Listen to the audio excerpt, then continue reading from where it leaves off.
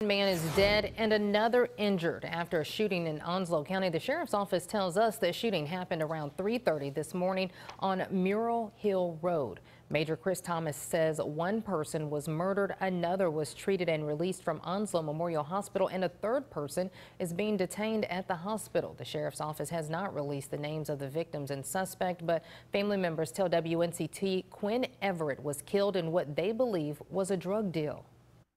She said, Your son is dead. And I said, What? And she said, Quinn is dead. Now, investigators are working with the district attorney's office to determine the exact charges.